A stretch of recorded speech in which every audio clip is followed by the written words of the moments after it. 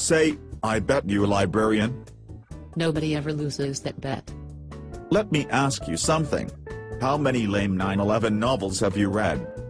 I've been eyeball raped by every single one. How about a 9-11 novel narrated by the South Tower? An original idea? They still sell those with all the bullshit memoirs and bullshit memoirs disguised as novels?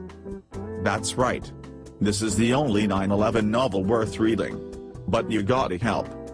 How? Send everybody you know to www.airplanenovel.com. Send them to the writer's blog, Violent Contradiction.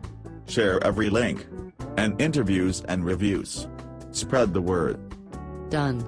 I'm ready to spread my legs for this novel because that's the way I roll.